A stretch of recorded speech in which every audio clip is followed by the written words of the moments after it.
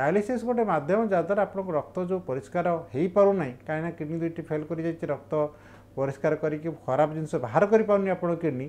ଯେଉଁଥିପାଇଁ urea kidney ବଢ଼ିଯାଉଛି ଦେହରେ ସେଇଟା ଆପଣଙ୍କର ଡାୟାଲିସିସ୍ ଦ୍ୱାରା ମେସିନ୍ ଦ୍ୱାରା ଆର୍ଟିଫିସିଆଲ୍ କିଡ଼ନୀ ଗୋଟେ ଲାଗିଛି ସେଟା ଦ୍ୱାରା ରକ୍ତଟା ପରିଷ୍କାର କରାଯାଉଛି ଆପଣଙ୍କୁ ସେଇଟା ଯେଉଁ କ୍ରନିକ୍ କିଡ଼ନୀ ଯଦି ରକ୍ତ ପରିଷ୍କାର କରାଯାଏ ସେଇଟା ନର୍ମାଲି ସପ୍ତାହକୁ ଦୁଇଥର ଲେଖା କରିବାକୁ ପଡ଼ିବ ହୁଏତ ଆପଣଙ୍କୁ ଏଇଟା ଜୀବନସାରା ବି କରିବାକୁ ପଡ଼ିପାରେ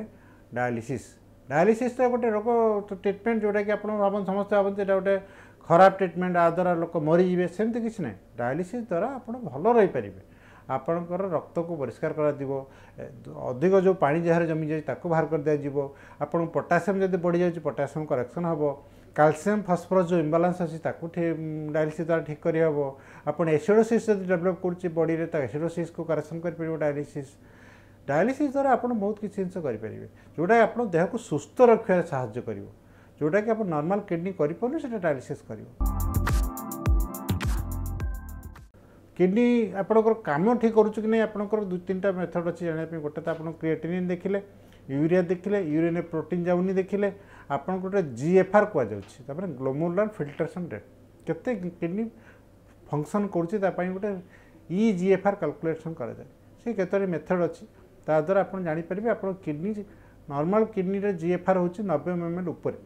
नबे रु शहे कोड़े एम एल आम धरू जो कि नर्माल ग्लोमोला फिल्टरेसन रेट जदि से नबे एम एल तल को कमीगला जानवे आप किडनी आफेक्ट बोधे है तेनाली टा काल्कुलेट करेंगे आप जापर से किडनी आपफेक्ट है जीएफआर जो काल्कुलेट करेंगे तरफ पांच प्रकार किडनी रोग किडनी जो सिकेडी कहुच क्रनिक किडनी पांच भाग में पांचटी स्टेज विभक्त প্রথম স্টেজ হচ্ছে জিএফআর হচ্ছে নবেরু ষাঠিয়ে এম এল নবে এম এল কিংবা অধিক যেটা ফার্স্ট স্টেজ সেকেন্ড হচ্ছে নবে টু ষাঠিয়ে এম এল থার্ড স্টেজ হচ্ছে ষাঠিয়ে রু তিরিশ ফোর্থ হচ্ছে তিরিশ রু পনেরো ফিফ্থ হচ্ছে পনেরো এম এল তলক যেটাকি এন্ড স্টেজ কিডনি ডিজিজ কুহাচ্ছে জিএফআর যেত পনেরো এম এল তলক হয়ে সেতবে আপনার ডায়ালিসিস এবং কিডনি ট্রান্সপ্লান্টেসন করা পড়ে আউ অন্য স্টেজরে যে আপনার stage one stage two stage three stage ফোরে ডায়ালিসিস কিংবা ট্রান্সপ্লান্টেসনর আবশ্যকতা কিছু নাই ସେଠି କେବଳ ଆପଣ ମେଡିସିନ ମାଧ୍ୟମରେ ଆପଣ କିଡ଼ନୀକୁ ବଞ୍ଚେଇକି ଆଉ କେତେ ଦିନ ରଖିପାରିବେ କି ଯଦିଓ ତାକୁ ନର୍ମାଲ ଷ୍ଟେଜକୁ ଆଣିପାରିବେନି କିନ୍ତୁ ଯା ଆପଣଙ୍କର ମେଡ଼ିସିନ ଦ୍ୱାରା ଯେମିତି ଆପଣଙ୍କ ବ୍ଲଡ଼ ପ୍ରେସର କଣ୍ଟ୍ରୋଲ କରିବେ ଡାଇବେଟିସ୍ କଣ୍ଟ୍ରୋଲ କରିବେ ୟୁରିନ୍ରେ ଯଦି ପ୍ରୋଟିନ୍ ଯାଉଥିବ ତାକୁ ମେଡ଼ିସିନ ଦ୍ୱାରା କିଛି କଣ୍ଟ୍ରୋଲ କରିପାରିବେ ଆପଣ ପଟାସିୟମ ଗୋଟେ ଜିନିଷ ଯେଉଁଟାକି ବଢ଼ିଯାଏ ତାକୁ ଆପଣ କଣ୍ଟ୍ରୋଲ କରିବେ ଖାଇବା ପିଇବା ଦ୍ୱାରା ପ୍ରୋଟିନ୍ ଖାଦ୍ୟ କମ୍ ଖାଇବେ ପେନ୍ କିଲର୍ଠୁ ଦୂର ରହିବେ ଯଦି ଗୋଡ଼ ହାତ ଫୁଲିଥାଏ ଆପଣ ପାଣି କମ୍ ପିଇବେ এবং যদি আপনার কলেস্ট্রল ট্রাইগ্লিসেরাইড এসব জিনিস বড়ি যাই তাকে আপনার কন্ট্রোল রাখবে